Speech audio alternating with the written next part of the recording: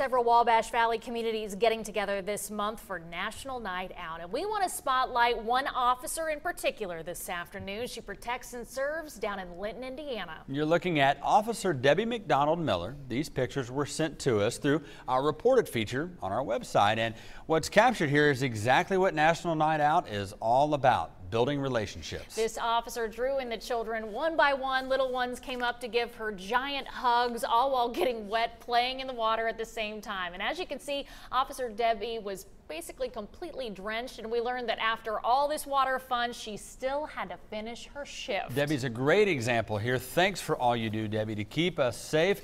Linton's National Night Out was held earlier this week.